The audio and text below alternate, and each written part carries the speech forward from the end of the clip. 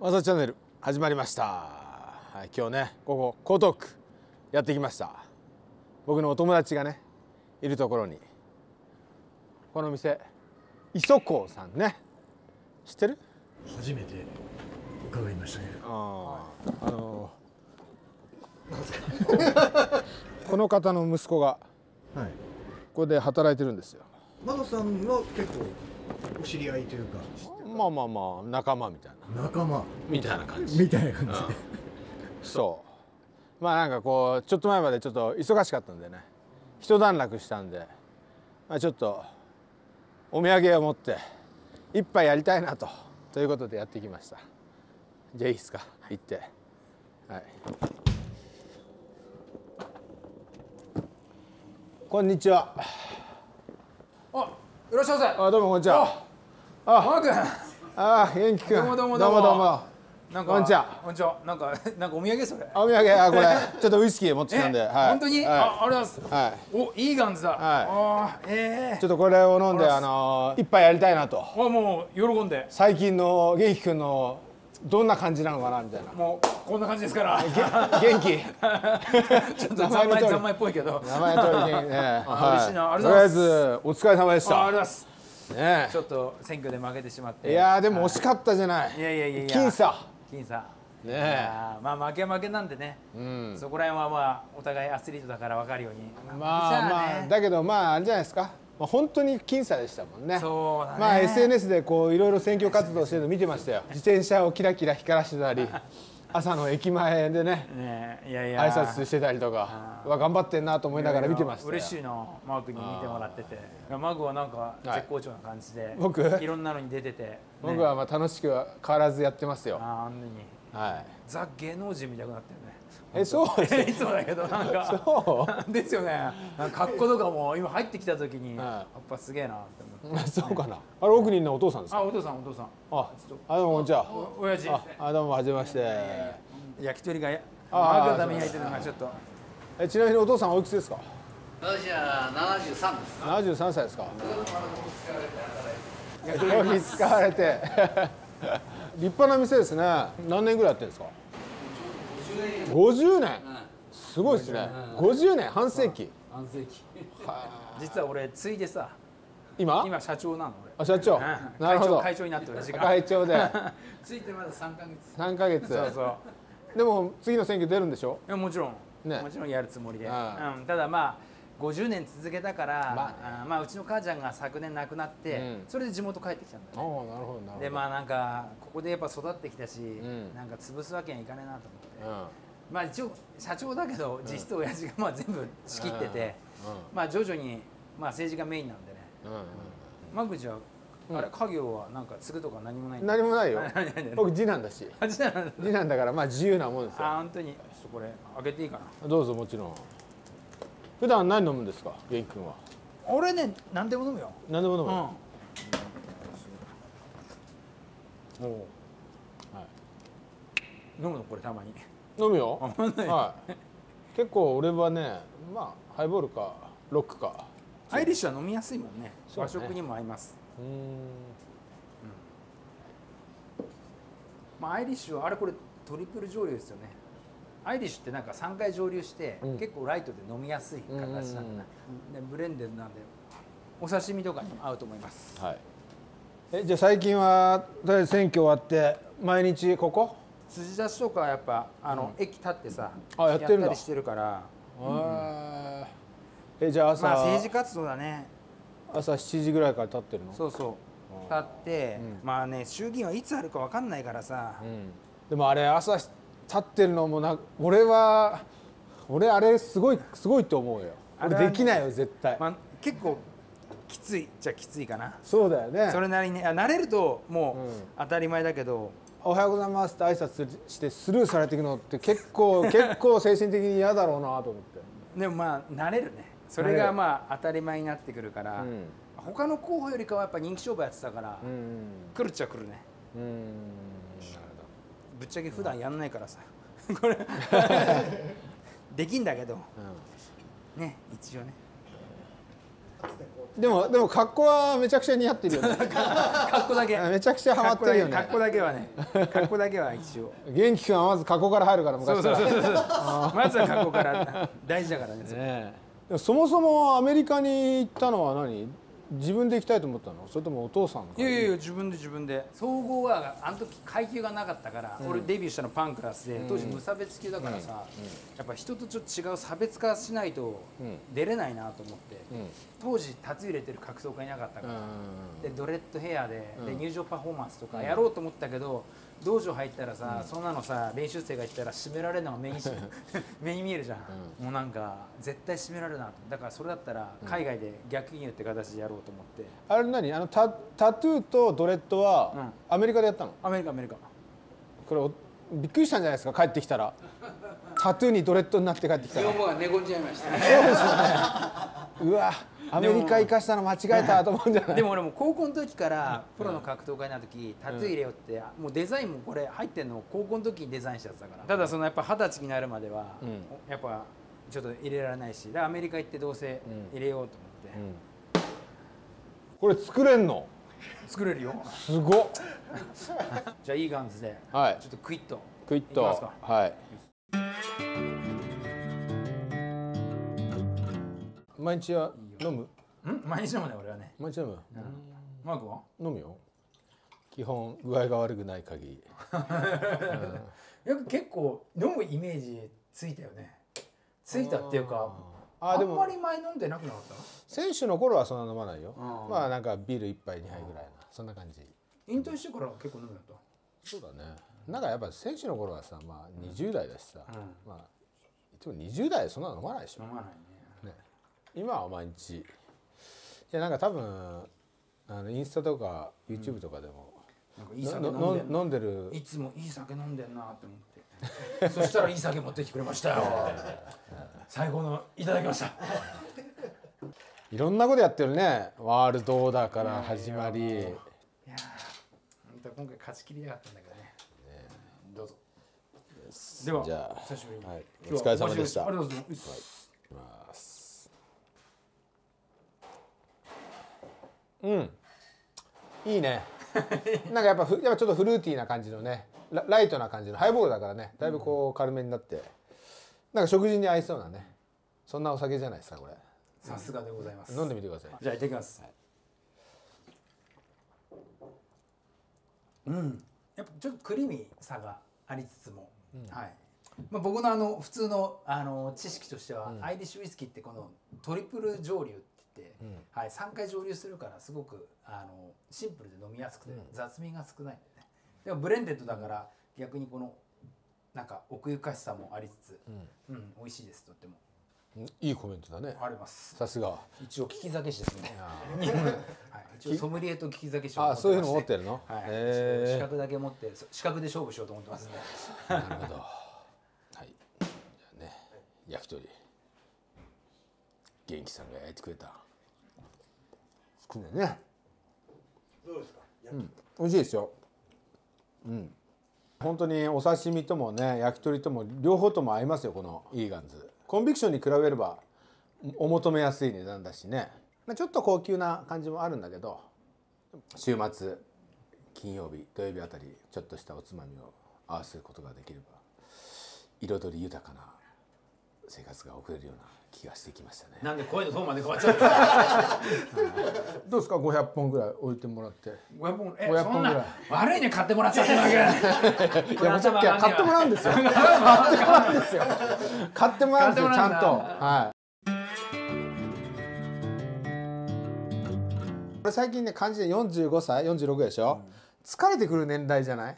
疲れるから。ちょっと疲れてこない？まあまあなんかもうちょい若い頃はもっと頑張れたなっていうの。なんかちょっと俺ちょっと疲れてきたかなっていう。てなるほどね。最近。今日はあ須藤元気の店かちょっとなーみたいな感じで来たんだ。いやでもそろそろ介護問題っていうのも出てくる。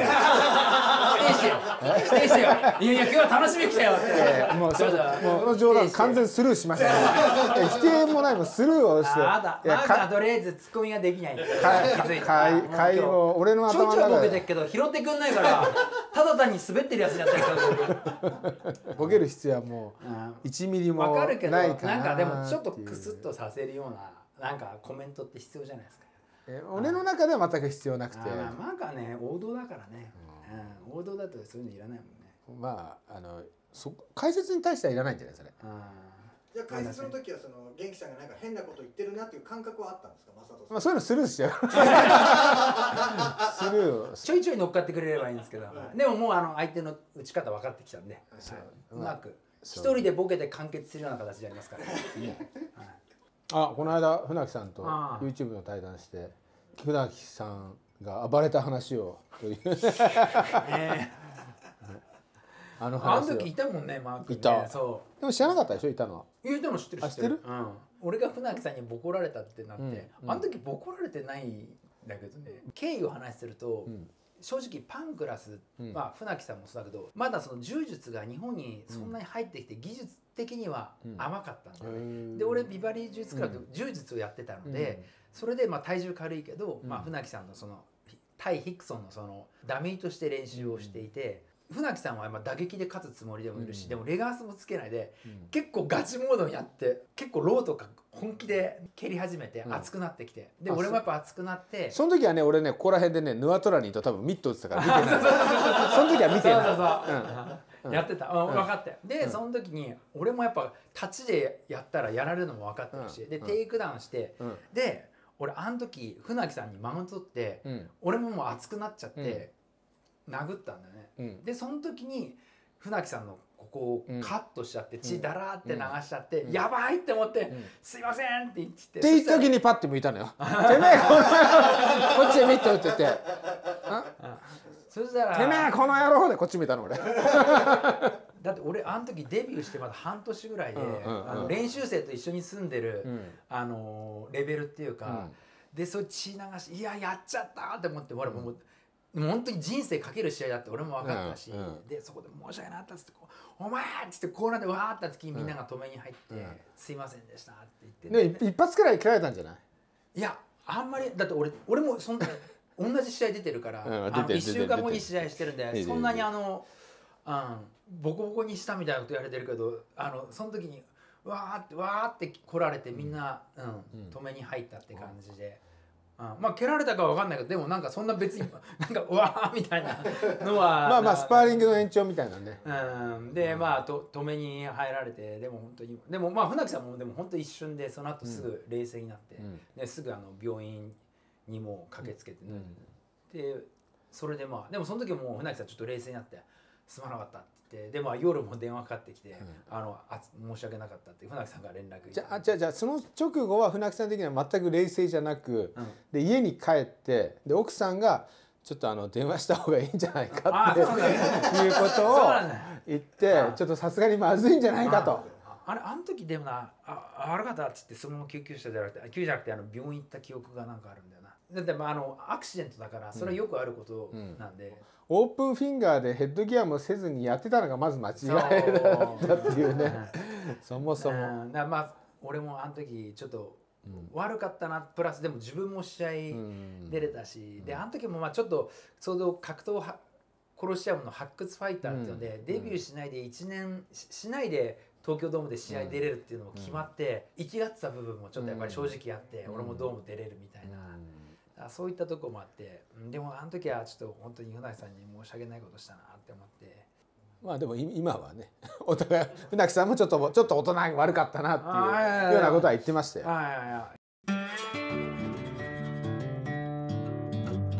選挙のことはね政治のことは全然よくわかんないけど。マークなんかむっちゃ言われるんでしょ今まで。出ないとか、まあ、でも誘いがないってことは絶対ないじゃん。まあでも直接言われたことはないんで。ああそうなんだ。間接的にって感じだね、でマークやらないでしょ？やらないね。わかんないもん。あわからない。ーマークの強みって今ちょうどマイク・タイソン試合やってっけど、ん。やっぱりさそこをやらないとこだよね。俺思うんだけど、あのお世辞じゃなくやっぱ頭いいよね。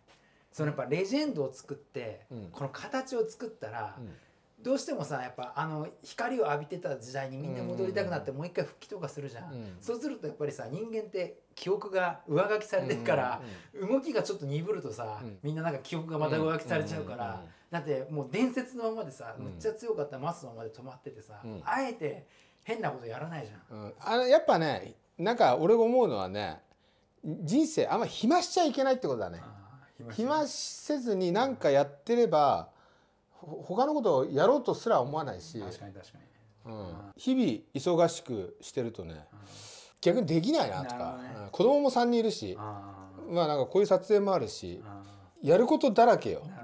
昨日も一番下の息子の学校のイベントにさ行ったりさなんかこのちょっと前は娘の運動会とかさ、まあやっぱ子供いるとやっぱ違うか忙しいようん、よ世の中の主婦は忙しいよ元気くん。マジで。マジで。マジで。マジで大変だと思うよ。それで食事作ったりとなるほかどね。うん。えちなみに料理とかする？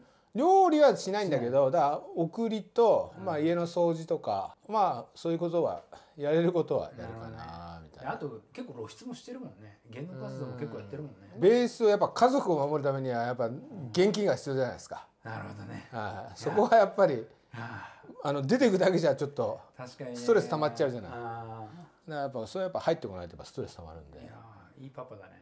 でも遊びもするよ。うん。うん。バイク乗って遊んバイクだり乗ってねツーリングよく行ってるもんね。ツーリング行ったり、まあ、友達とご飯食べたり。あいやそこもしないとただの家庭人になっちゃいけないじゃない。それもそこだけでもダメだし家庭人っぽさがこの画面から出ないように。結構遊ぼうみたいな。ーなんか一切出てないね。やっぱそれ大事じゃないやることやってるけどパパ臭しないもんね。結婚しないの？ん？結婚しないの？いただきます。す え？もうあのはい一回したんで。いいじゃない。1回でも2回でもいいじゃない。えーちょっと絞らせてもらいます。いやいや。いいじゃない。またすれば。ん？いやいやまあもう少子化にストップをかけないと。え？少子化に、うん、確かに頑張っちゃおうかテストステロン値高い人なんだから。いやいやちょっといなくなってもちょっと困っちゃうんで。ね。ピー入れといてください。はいすい入れとい。てください。やっぱ政治家はねなかなかその女性スキャンダルとかね、もうやっぱ一発でアウトになるからね。最近あったもんね。難しい、うん。スキャンダル。そなんでこうねそうするんだろうね。だって一発アウトの分かってるじゃない。うん。でもまあ男だからあんじゃないの？いや俺はねだからもう結婚した時点でもうもうなしって決めてるわけよ本当？ゼロよゼロ。いやいやいやいやいやそう思うでしょ？嘘ついてます、ええ。えそんなわけない。だってそんなわけない。だって俺俺の活動も一発アウトなの理解してるわけですよ。あーマックもこういう男になっちゃったか。いやせっいやかくこさして飲んでんのに。だけどほら俺ですら一発アウトを理解してるのに政治家のねこう代表してる市民を代表してる人がそれを理解してないっていうのは俺はどうなんかなと思うよね。でもまあと言いながらも英雄色を好むっていう言葉もあるしなみたいな。だからね逆のコメント来ると思ったら「いや俺なんて10人だよ。一人でねあんなっちゃうのかわいそうだよ」って聞くのかと思ったら。いやいや それそれ大炎上だから結婚しないんじゃないの？そういうリスク。リスクヘッジうまいからね。いやいや俺はねそんなね。リスクヘッジねんな感じだったんでしょうね。ー議員生活は3年 ?4 年？俺4年半やったか ?4 な年半。うん。楽しかったっていうことは変ですだけどやっぱ自分のやりたいことできたし、やっぱバッついてるといろんなところに視察とか行けるんで、うん。あんまり断れることがないんで、まあ無所属議員野党系の無所属なんで、そんなになんか何ができるって、まあ、限定されてる部分はあるけれども、やっぱりそこら辺は自分の、まあ、格闘技ならその格闘技振興議員連盟作ったりとかして、うんいろいろと、まあ、活動もできたりとかしてそこはやっぱりやりがいがあってでもやっぱり究極は世界平和の実現なんでもうこれはもう変わらずやっぱもう一回復活してちょっと頑張っていきたいなって思って。今も戦争してるもんね。うん。そういった意味では格闘技は猪木さんじゃないけどもう本当国境を越えて逆にうまくその世界平和につなげる非言語だしさ言葉じゃなくさなんかできるものあんじゃん。そこはやっていきたいなと思うよねそのためにはマー君あの新党元気立ち上げたらぜひ幹事長にお願いします。幹事長松戸幹事長で。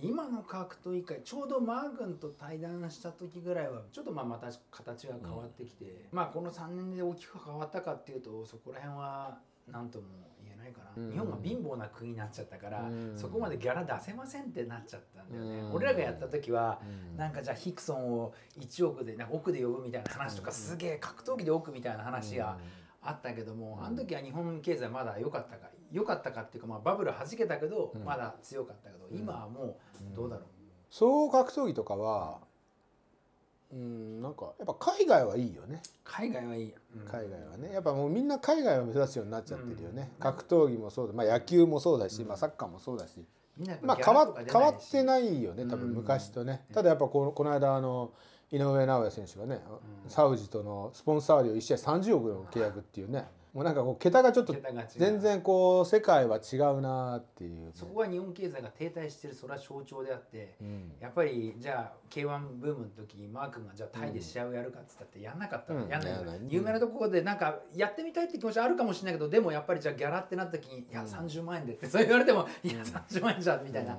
あんじゃん。それと同じように、やっぱりどうしてもこの資本力っていうのが大きくなっちゃうんで今やっぱり何億何十億って当たり前の世界になっちゃってる中で、じゃあ日本の興行がそんだけ出せるかっていうと出せないんで。日本でもどうなんだろうね。いや俺ねでもね子供が学校に行ってちょっと日本ってあやっぱ日本って世界的に見てめちゃくちゃいい国なんじゃんっていうのをめちゃくちゃ今実は感じてい感じていて、いろんな人と会うと「いや日本くらいよ」と。子供が一人で学校行くの、ん。行って帰れるのって。そんな国他にないよみたいな。うん。